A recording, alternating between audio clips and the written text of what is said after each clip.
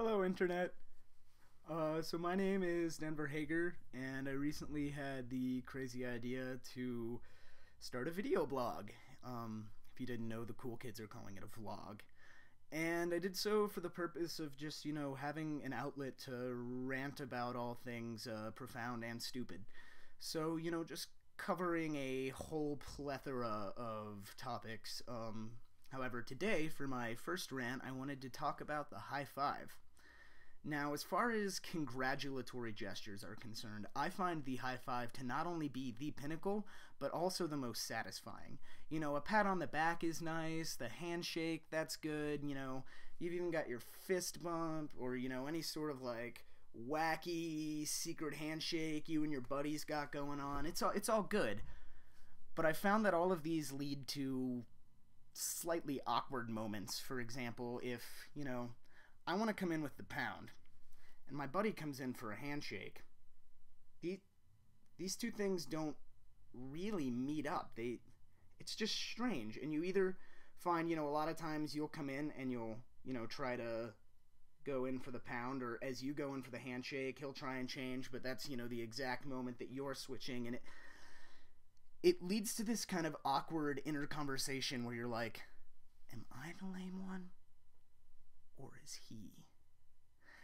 And, you know, I find you don't really run into that at all with the high five. When you walk up to somebody and you're just, you know, they know what's going on. Like, there's no confusion present in that gesture. And then you get that contact, that.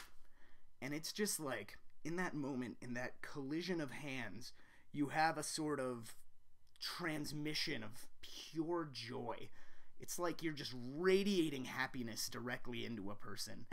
And I just don't see why we don't high five more. Like, I've never been upset from receiving a high five. I've never been like, oh, this isn't a good time for a high five. I'm not in the mood for a high five. In fact, the worse I feel, I find that those are the times that I need a high five the most. Like, oh no, I just found out my parents were in a horrific car crash. High five, dude. So, really what I'm trying to say is to all of you out there into internets, I want to give you a web high five. I want to let you know that I think that you are a great person and you deserve the pinnacle of congratulatory gestures. None of this, you know, pound it, bro, or any of this shit. It's a high five. Now, I, I notice I'm I'm beginning to ramble, and that's actually kind of why I wanted to do this. I really just wanted something to talk at and talk to.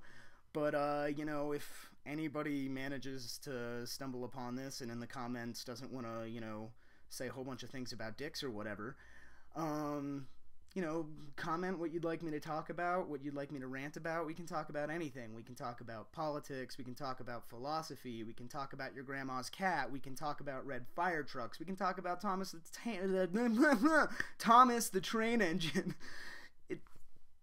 That's what I want this to be for a, a forum where everything is completely lighthearted, but we, we, we, we talk about things. We share our opinions, whether they be profound or, you know, favorite flavors of birthday cake. Um, yellow cake is great on that topic, so, you know, maybe I'll do a, a rant about cake for the next one or, you know, whatever.